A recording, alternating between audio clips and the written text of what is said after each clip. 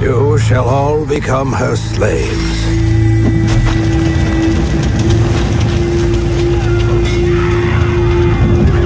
She will take your loved ones.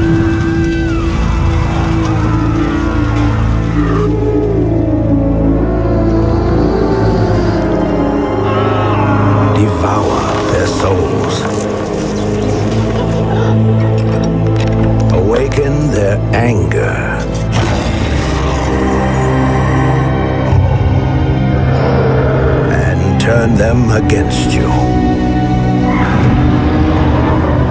Yet her ambitions reach further still.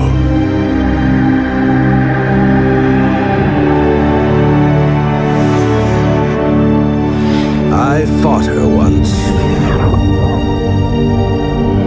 I shall not make that mistake again.